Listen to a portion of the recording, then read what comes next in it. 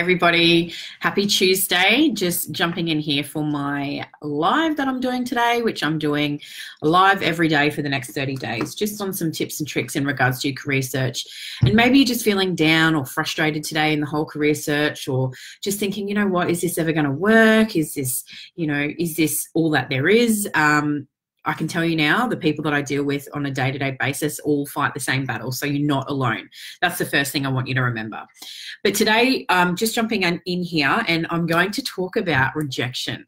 Okay, so give me a yes in the comments if you are someone that has dealt with rejection in regards to your career search you know, whether it's that standard Seek email that you get back or whether someone calls you after you've had an interview or an email, which it happens a lot more these days via email rather than the good old phone call, which is a real shame.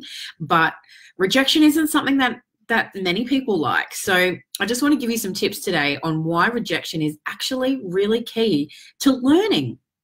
It sounds really cheesy, but it's true. So I've just got some notes here that I've written down that I want to make sure that you really think about.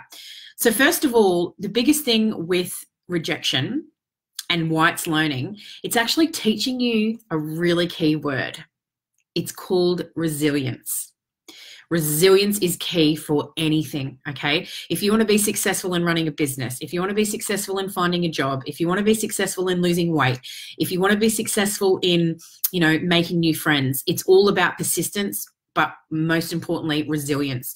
You need to be able to get down, knock down, but actually be, being able to get back up. And I know people say this every day and blah, blah, blah, but in regards to your career, you have to be able to be resilient or it's never gonna never gonna happen if you're someone that gets knocked over and you stay down and you're like oh gosh you know whether you're the victim whether you feel sorry for yourself um, oh i can't do it you know all of those words all of that story the self-talk that you're telling yourself in regards to not being able to do it actually becomes your reality.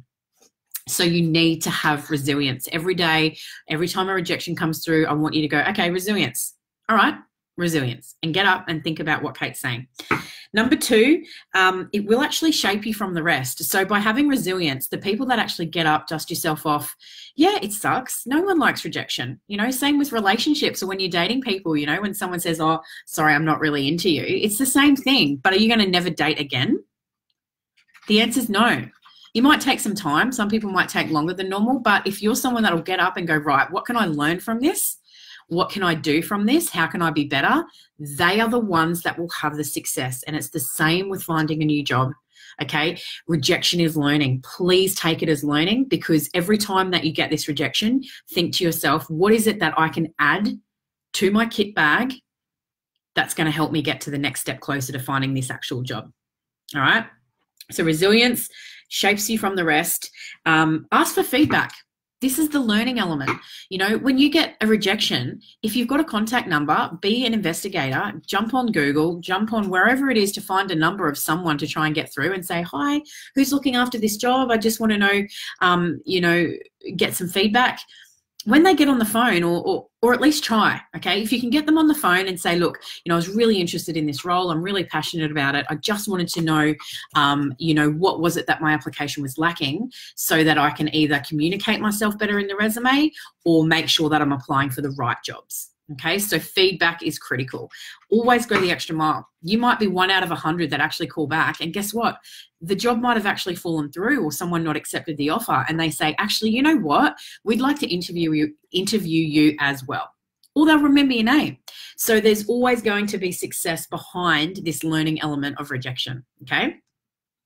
And the last thing I want to say is it's not personal these people don't know you. So every time you get a rejection, don't think, oh gosh, they don't like me. No one likes me. Um, you know, you have to turn it around and be resilient. These people don't know you from a bar of soap. They've just got a job to do. Um, if you really want to have some success and you want to find out why, then pick up the phone and find out why. Um, now, for anyone who knows me in here, and you'll get to know me a lot more over these lives, I am a straight shooter. I'm honest. I'm to the point because I want to help. Okay, so I don't say all of this stuff coming from a mean way. I say it in order to help you um, because that's what I'm about. And a lot of the clients that work with me come to me for that reason because they know that I'm going to say or call them out um, and be able to kind of challenge them, which is what you need, right? There's no point someone fluffing you and just saying, oh, yeah, just call and that's it. And it's like, well, no, I'm, I'm going to challenge you mentally and, and how to get this. So, I hope you've enjoyed that live today. Um, just remember, rejection is learning, and that we have to be resilient. Get the feedback. It's not personal, and you know um, it shapes you from the rest. Being resilient, if you can get back up. If you're going to be like everyone else, then sure, roll over, lie down. You know, say, "Oh, poor me," but you have a choice. You have a choice. Okay, so I hope you make the right one. So I'll leave you with that today. Have an awesome Tuesday, and I'll speak to you tomorrow. Bye.